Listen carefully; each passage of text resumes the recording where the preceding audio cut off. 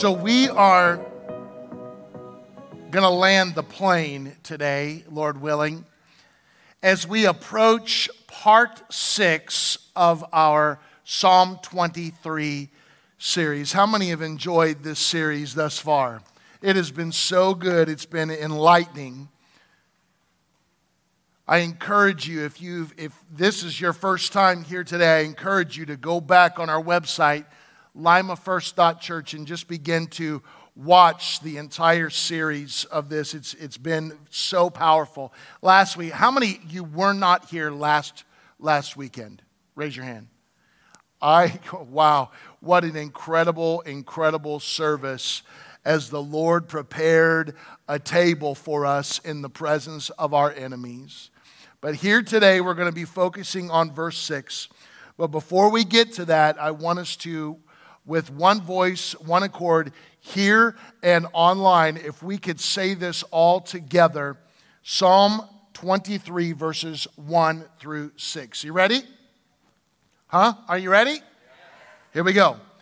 The Lord is my shepherd, I shall not want.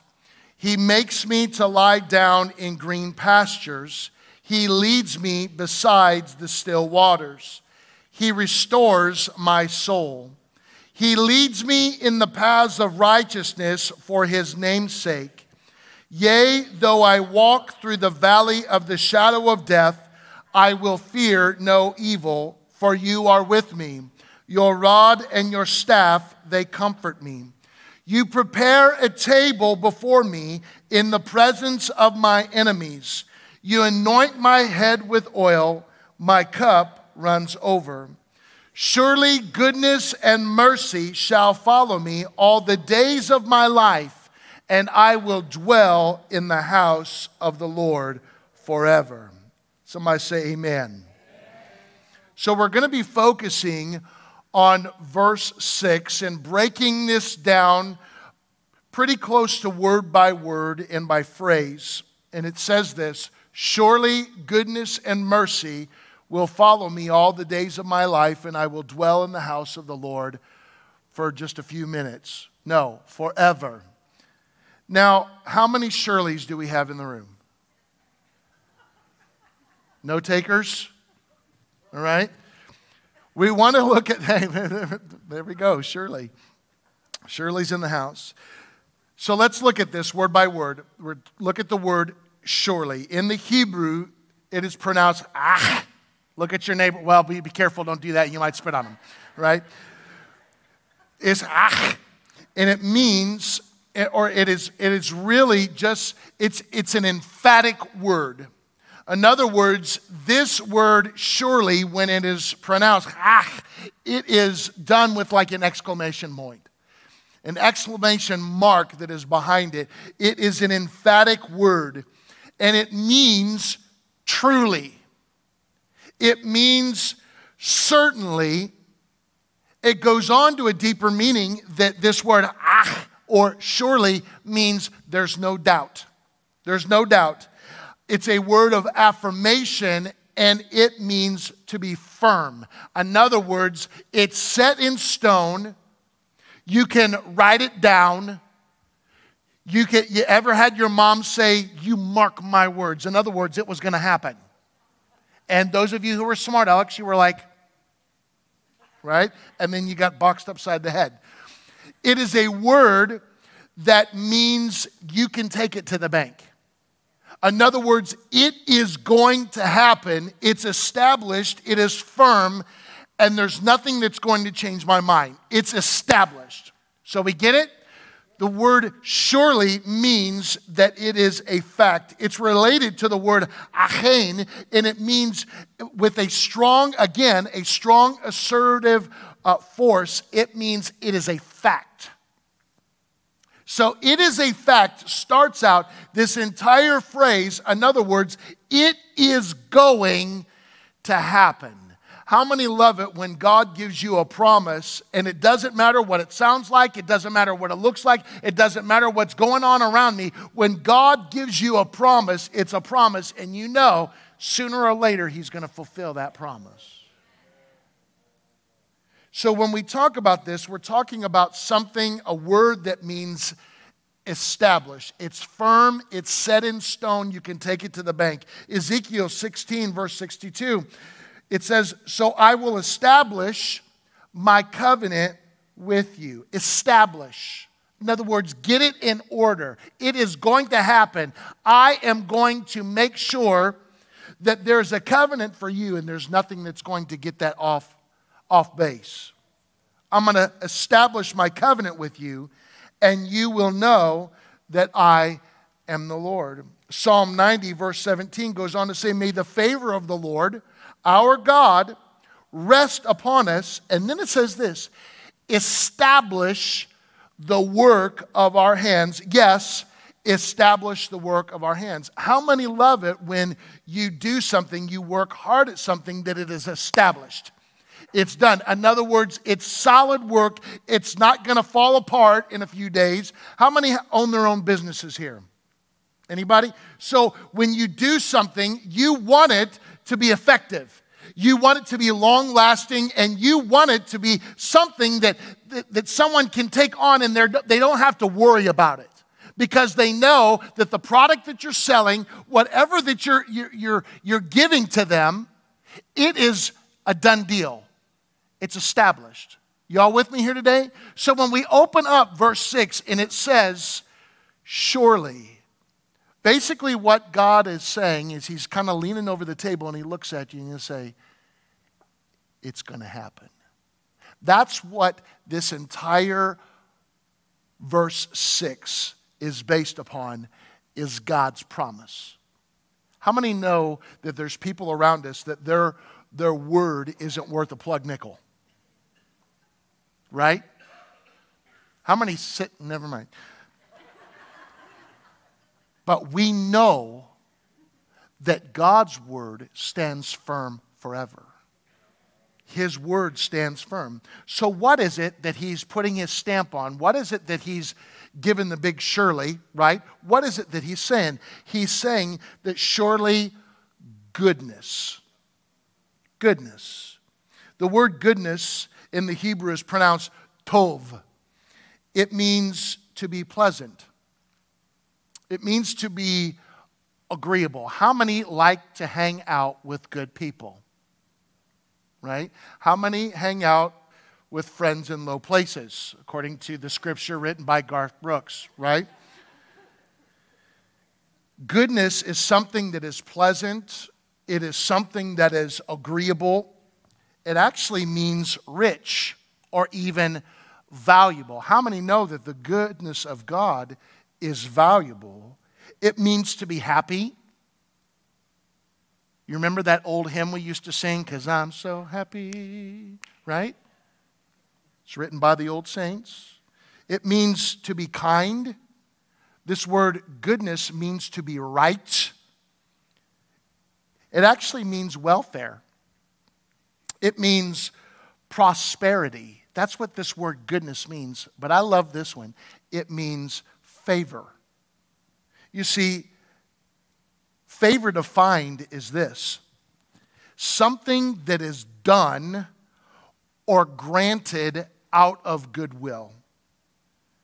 It's not something that is given from justice or something that is uh, uh, for, for a fee not something that you work for. It is actually something that is free that God gives. In other words, it's a, it's a kind act. So when God comes along and he says, Surely goodness, he's saying that his favor is resting upon us, his good will. And there's nothing that eh, that, that you've done to receive this. I'm just going to do it because I am good. That's in my nature. That's what God is saying here. That's in my nature. It's favor. Psalm chapter 5, verse 12 says, Surely the Lord will bless the righteous, and you surround them with your favor as a shield. You surround them with your goodwill, O God. You surround them with a kind act. How many want to be surrounded by God's kindness? That's everybody in this room. Psalm 30, 1 through 5. I will exalt you, O Lord, for you lifted me up. You lifted me up out of the depths and did not let my enemies gloat over me.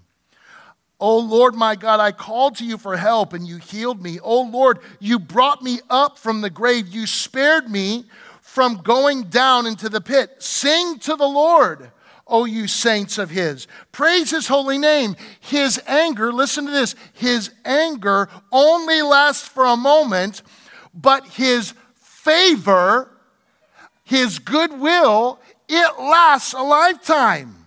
Weeping may remain for the night, but rejoicing, his favor, it comes in the morning. Now, listen, what happens in the morning? Well, I get a cup of coffee. No, what happens in the morning? Who said it? Morning happens when we wake up. In the morning, when we realize God's goodness, we will realize God's goodness not just in the AM, but when you and I finally wake up and we see that He is our hope, He is our shield, He is our strength, He is that help in every time of trouble. He is good. Y'all with me here today? Now let's look at a bit further. Surely goodness and what? Mercy now, this mercy, chesed, it's, it means this loving kindness. Loving kindness. That's what his mercy is. It means zeal, it means beauty, but it also means faithfulness. I don't know about you, but God has remained faithful to me. And I love that song that we sing, All My Life you've been faithful. But how many could flip that around and say, All my life I have been faithful to you? You see, that's the character and nature of God. That's what mercy really means. That He gives me mercy instead of giving me what I really truly deserve.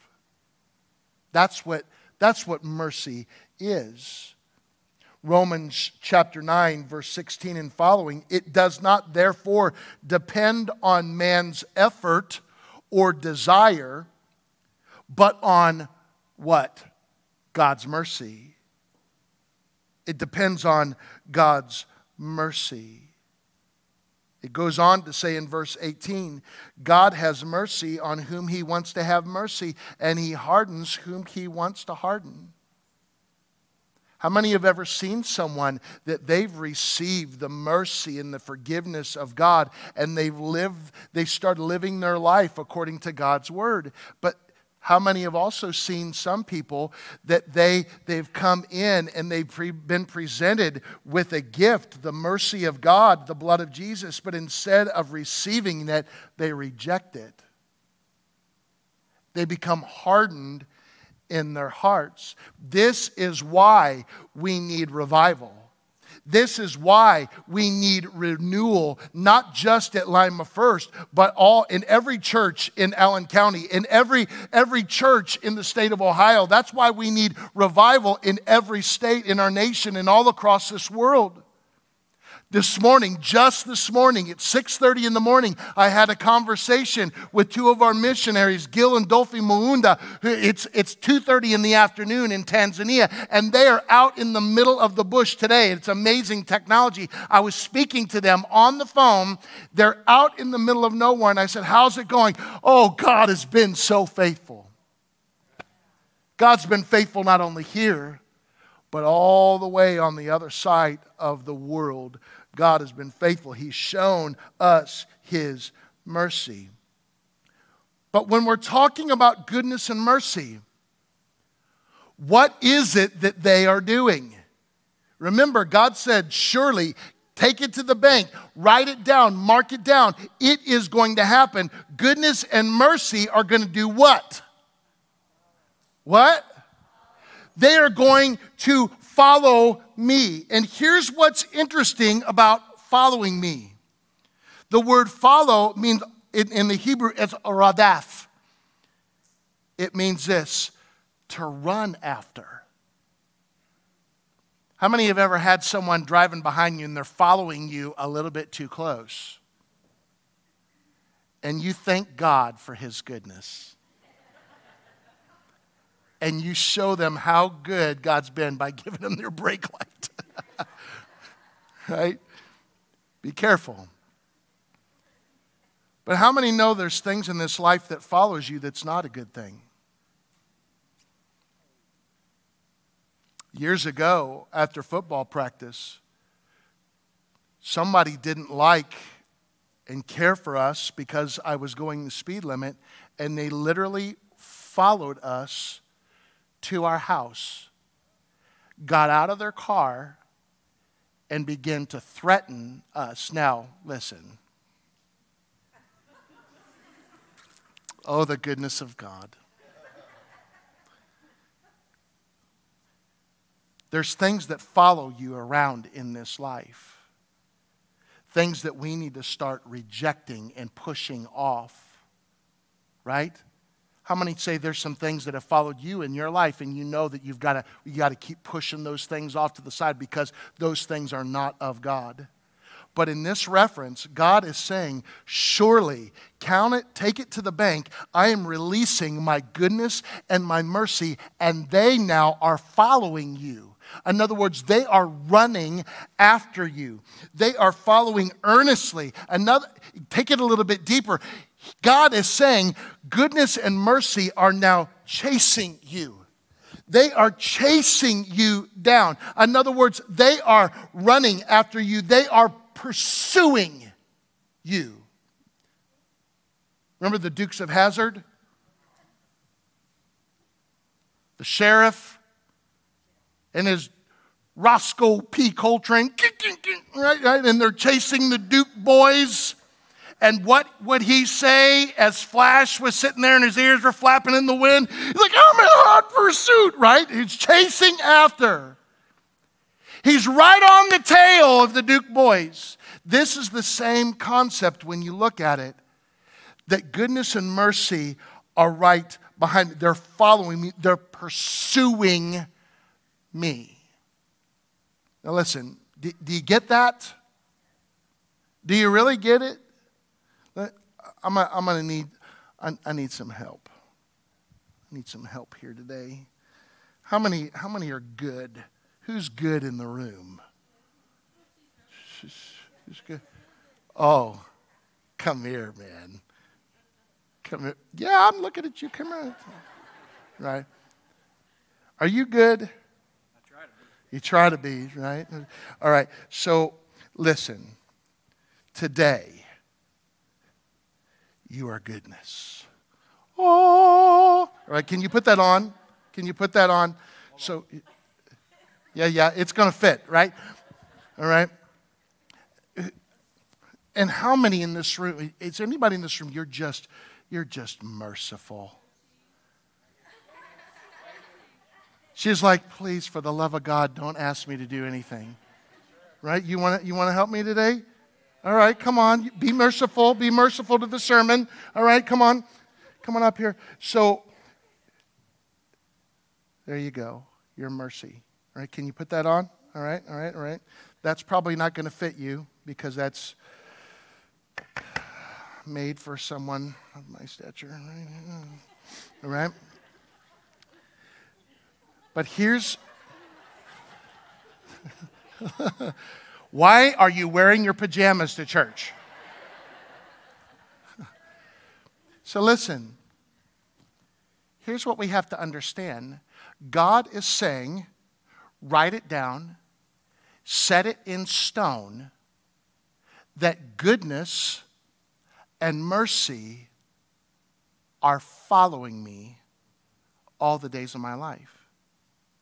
So, in other words, wherever I go, wherever I walk. See, that was goodness. I defer to you. But here's the thing some people, you have been running from God all of your life. You've been running from salvation. You've been running from the call that God has on your life. And the more you run, you don't even. Are you, you ready, roll? You sure? We're going to see how fast you guys are. Right? Right? They're like, what is he going to do? New and news. But you've been running from God all your life. And here's what you don't understand the more that I run, the more.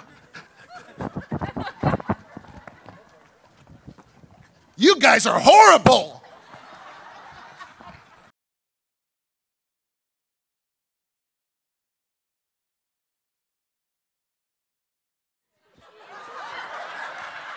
Mercy lost her shoe.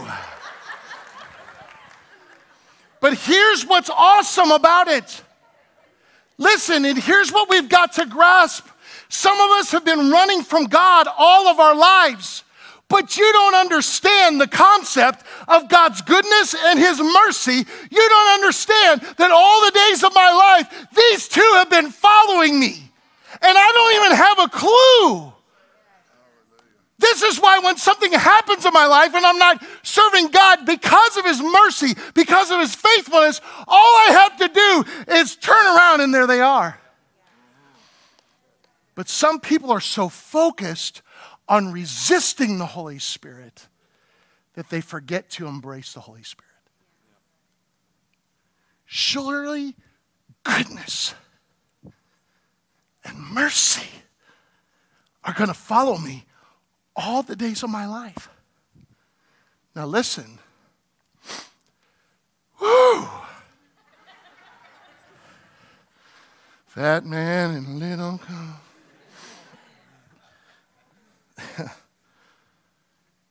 Just because, no, these two continue to follow me because God's pursuing my heart.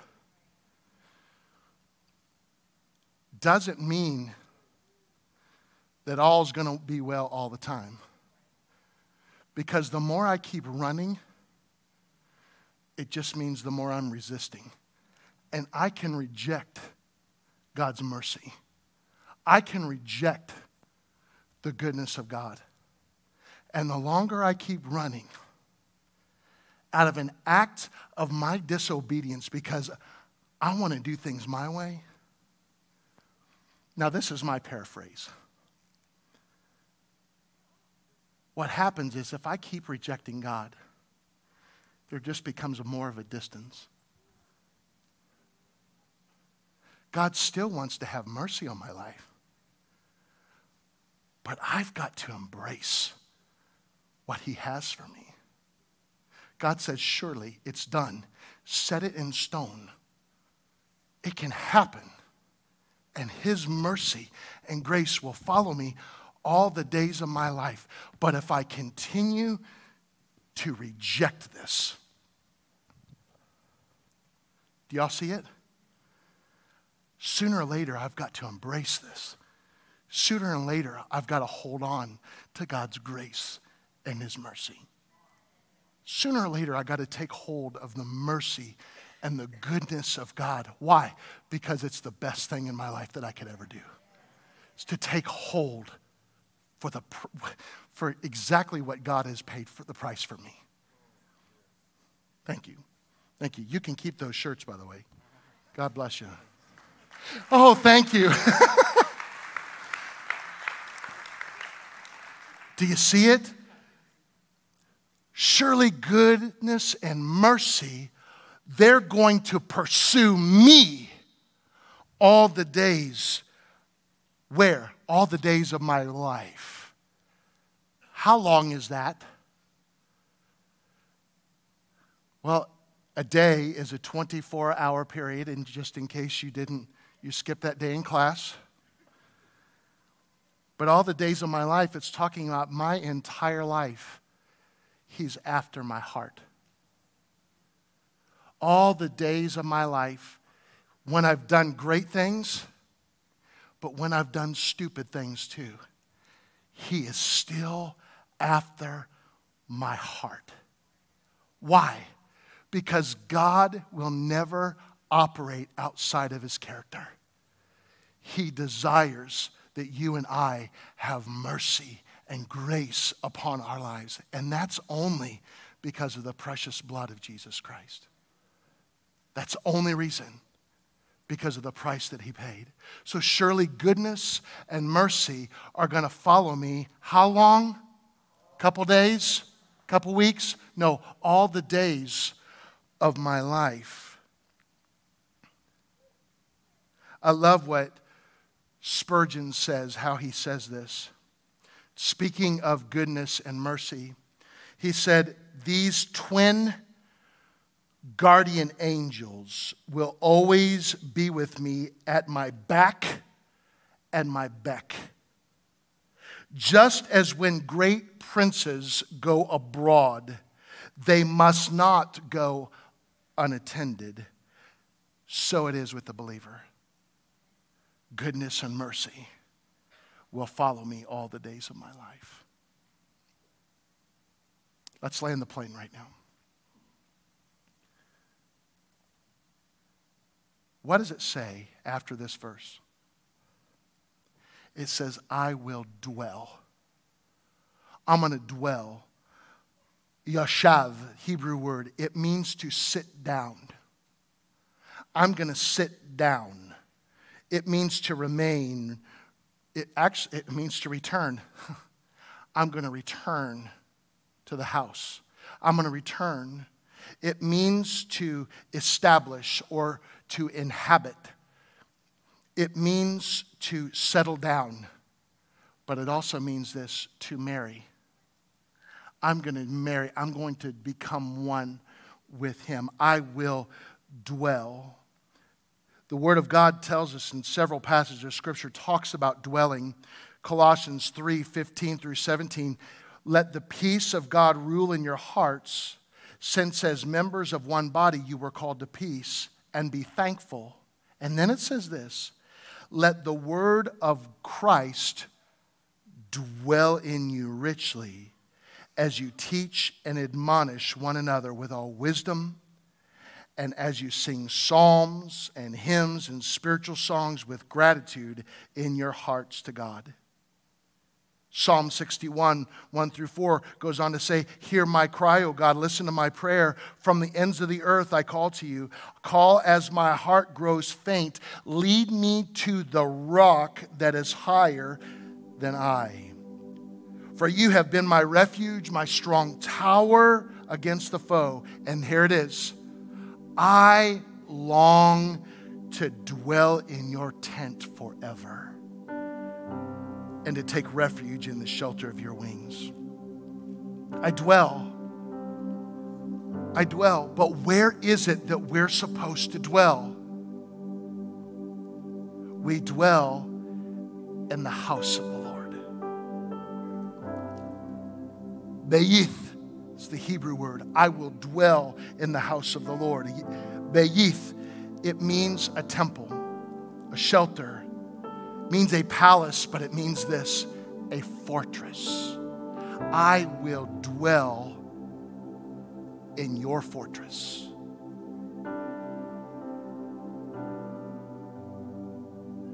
Let me ask you this question Can you really dwell somewhere you don't have these, what happens today if you walk out of this building, you get in your car and you go home, but you leave your house keys here at the church? You're not getting in your house, right? Keys are to unlock things. You see, if I don't have these, I'm not going to be dwelling. I can be around the house, I can be around the dwelling place, but I can't be in the dwelling place. Y'all tracking with me?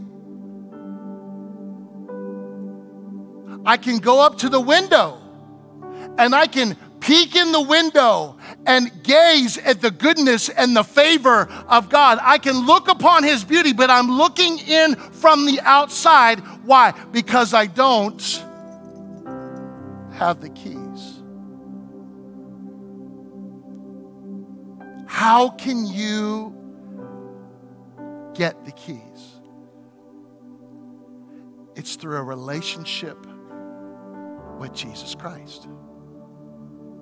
He's the key. The Bible says in describing Jesus that He is the way, the truth, and the life.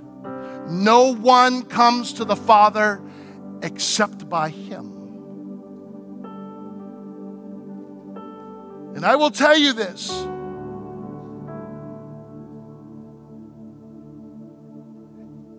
You can have good thoughts and you can have good motives and you can live your life and you can be a good person, but still never have received the goodness of God, the blood of Jesus, salvation upon your life. You can be a good person